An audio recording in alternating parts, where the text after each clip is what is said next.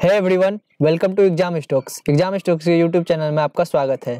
तो friends SSC ने SSC CHSL recruitment 2019-20 का ऑफिशियल नोटिफिकेशन 3 दिसंबर 2019 को रिलीज़ कर दिया है। तो इस वीडियो में हम आपको बताएँगे SSC combined higher secondary level exam 2019-20 के बारे में।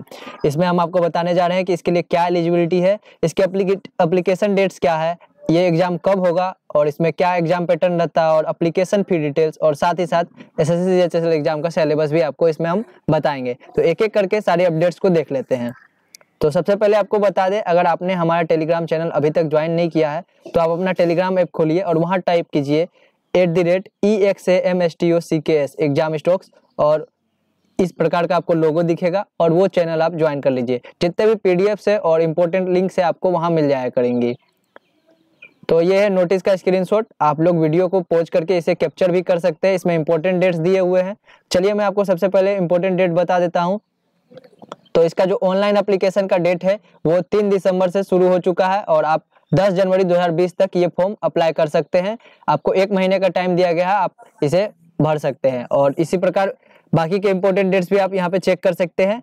और मैं आपको बता देता हूँ कि इसका एग्ज़ाम कब होगा। तो सबसे पहले इसका टीयर वन का एग्ज़ाम होगा। Date of computer based examination tier one आप यहाँ पे देख सकते हैं। 16 मार्च 2020 से 27 मार्च 2020 तक ये एग्ज़ाम चलेगा आपका। और आपको बता दें कि सीजीएल का टीयर वन जो एग्ज़ाम है, वो भी मार्च के महीने में होने वाला है।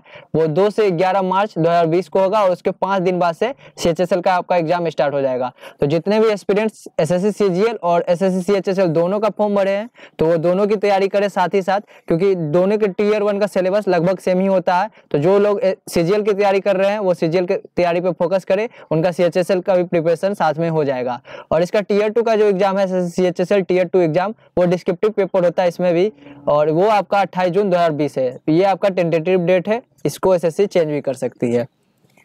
तो और यहाँ पे सबसे पहले बता दें कि कौन कौन से लोग एलिजिबल है कौन कौन से स्टूडेंट्स अप्लाई कर सकते हैं। तो सबसे पहले आपको एजुकेशनल क्वालिफिकेशन बता देते हैं।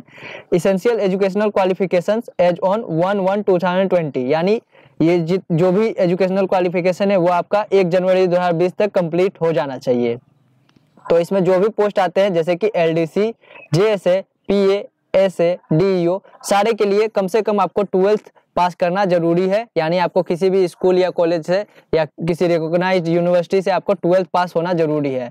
और अगर आपको डाटा एंट्री ऑपरेटर पोस्ट के लिए अप्लाई करना है तो आपको ट्वेल्थ में पीसीएम होना ज़रूरी है, यानी मैथ आपका कॉम्प्लीमेंट्री सब्जेक्ट होना चाहिए ट्वेल्थ में। तो जितने भी एस्पिरेंट्स ने ट्वेल्थ में साइंस पढ़ी है और जिन्होंने मैथ ऑप्ट किया था तो वो लोग डीईओ के पोस्ट के लिए एलिजिबल है और बाकी जितने भी एस्पिरेंट्स हैं, जिन्होंने साइंस नहीं पढ़ी हो या मैथ उनका कॉम्प्लीमेंट्री सब्जेक्ट नहीं था ट्वेल्थ में तो वो बाकी के पोस्ट के लिए अप्लाई कर सकते हैं, जैसे कि आपका L D C J S A P S A और वो बाकी के पोस्ट के लिए अप्लाई कर सकते हैं।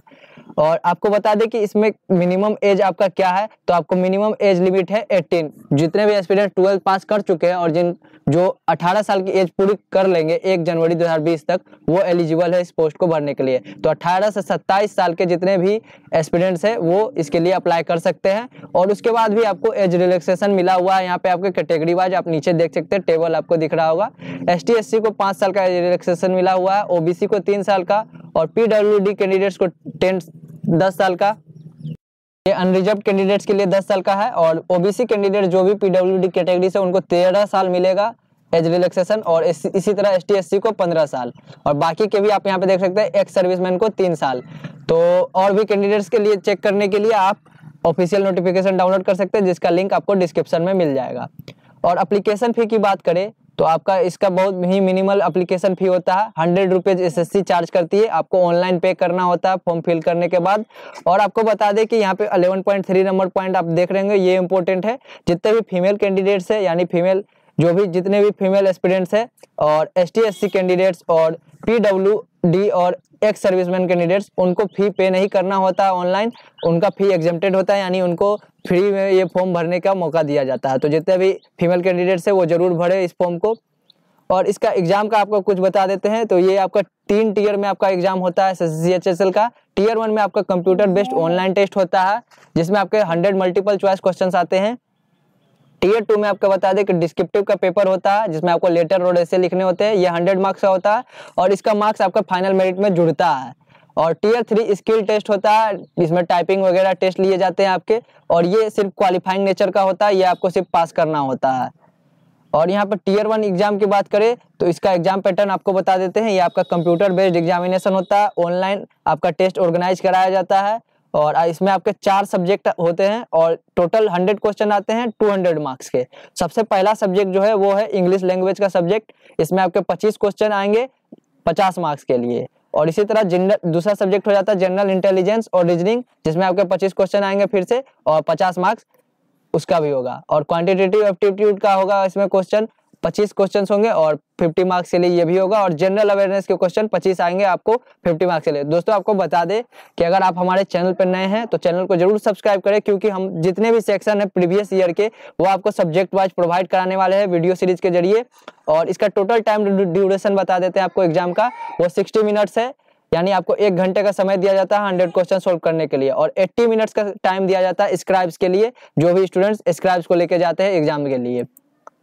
और यहाँ पे कुछ और डिटेल्स है। हंड्रेड क्वेश्चन होंगे आपके और मार्किंग स्कीम आपको यहाँ पे समझा दे कि आपको पर कर ईच करेक्ट आंसर के लिए आपको टू मार्क्स मिलेंगे। यानी ये हंड्रेड क्वेश्चन का है। अगर आप हंड्रेड में हंड्रेड सही करते हैं तो आपका टू हंड्रेड मार्क्स का होगा।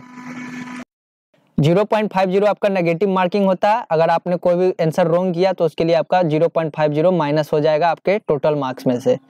आगे बढ़ते हैं और यहाँ पे बात कर लेते हैं S S C H S L syllabus two thousand nineteen twenty का। तो यहाँ पे इंग्लिश लैंग्वेज का सिलेबस है। आप वीडियो को पोज करके इसका स्क्रीनशॉट ले सकते हैं ताकि आपको याद रहे कि इसमें क्या क्या पूछे जाएँगे इंग्लिश पेपर में। और इसमें कुछ मैं इंपॉर्टेंट्स आपको बता देता हूँ। इसमें आपको साइनोनिम्स आते हैं इंटोनिम्स आते हैं और स्पेलिंग टेस्ट आता है इडियम्स फ्रेजेस आते हैं वन वर्ड सब्सटीट्यूशन आते हैं सेंटेंस इंप्रूवमेंट वॉइस नरेशन और इसी तरह आपके क्लोज टेस्ट और रीडिंग कॉम्प्रिहेंशन के पैसेज आते हैं। नेक्स्ट है आपका जनरल इंटेलिजेंस और रीजनिंग इसका भी आप स्क्रीनशॉट ले सकते हैं। इसमें आपके फिगर काउंटिंग और ड्राइंग और एनालॉजी लेटर से रिलेटेड वर्ड प्रॉब्लम्स इस टाइप के क्वेश्चंस आपके पूछे जाते हैं। तो आप ये स्क्रीनशॉट ले सकते हैं। और दोस्तों, आपको बता दें कि हम जल्द ही आपको पूरा सब्जेक्ट वाइज वीडियो देंगे कि आपको किस सब्जेक्ट के लिए कैसे प्रिपेयर करना है। तो अब अगला देखते हैं, अगला कौन सा सब्जेक्ट है? और ये अगला सब्जेक्ट है आपका क्वांटिटेटिव एप्टीट्यूड इसमें आपके अर्थमेटिक और एडवांस मैथ से 25 क्वेश्चन आते हैं। इसमें आपका इंपॉर्टेंट जो भी चैप्टर है, मैं यहाँ पे मेंशन कर दिया हूँ। आप इसका स्क्रीनशॉट ले सकते हैं। इसमें आपके नंबर सिस्टम अलजेबड़ा ज्योमेट्री और अगले सीट पे देखेंगे हम। और यहाँ पे मेंसुरेशन ट्रिग्नोमेट्री और स्टेटिस्टिकल चार्ट्स यानी डीआई के कुछ क्वेश्चंस और पाई चार्ट के क्वेश्चंस आपके आते हैं। तो इसमें आप बहुत और भी चैप्टर्स होते हैं जो इसी में मेंशन है, आप स्क्रीनशॉट ज़रूर ले लीजिए ताकि आपको याद रहे कि आपके कौन कौन से चैप्टर है। और हम एग्ज़ाम पैटर्न और सिलेबस के ऊपर एक डिटेल वीडियो अलग से भी बना देंगे। और जनरल अवेयरनेस का सेक्शन देख ले तो आपके इसमें करंट अफेयर्स आते हैं और हिस्ट्री ज्योग्राफी इकोनॉमिक्स और जनरल पॉलिसी और साइंटिफिक रिसर्च यानी साइंस से भी आपके क्वेश्चंस पूछे जाते हैं जनरल अवेयरनेस में। तो वो भी आप स्क्रीनशॉट ले लीजिए, आपके इतने इंपॉर्टेंट चैप्टर है और इतने सब्जेक्ट आपको कवर करने हैं जनरल अवेयरनेस सेक्शन के लिए। और दोस्तों, अगर आप previous year question paper S S का डाउनलोड करना चाहते हैं ताकि आपको पता चल सके कि प्रीवियस ईयर एग्ज़ाम्स में क्वेश्चंस के क्या लेवल थे और क्या डिफिकल्टी थी और उसको सोल्व करके आप प्रैक्टिस करना चाहते हैं तो इसका लिंक मैंने डिस्क्रिप्शन में दे दिया है। आप वहाँ से जाके पीडीएफ डाउनलोड कर सकते हैं। सारे शिफ्ट का इंग्लिश हिंदी दोनों में आपको क्वेश्चन पेपर मिल से, मिल जाएँगे और आपको हमारे टेलीग्राम चैनल पर भी इसके पीडीएफ प्रोवाइड करा दी जाएँगी। और दोस्तों, अगर आपको यह वीडियो पसंद आया हो तो इसे ज़्यादा से ज़्यादा लाइक करें शेयर करें और अगर आपके कोई डाउट हो या कोई सुझाव हो तो कमेंट में ज़रूर बताएँ। अगर आप चैनल पर नए हैं तो चैनल को सब्सक्राइब करना ना भूलें। धन्यवाद।